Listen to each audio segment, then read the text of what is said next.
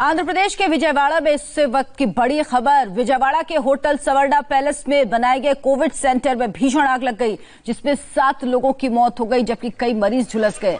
Police commissioner ने सात लोगों की मौत की पुष्टि कर दी। इस होटल में करीब तीस कोरोना मरीजों को रखा गया था। बताया जा रहा है, शॉर्ट सर्किट की वजह से आग लगी। फ़िलहाल मौके पर राहत और बचाव का काम जारी है। अभी एक ब्रेक का वक्त है। ब्रेक के बाद देखिए, जम्मू कश्मीर के कुलगाम से बड़ी खबर।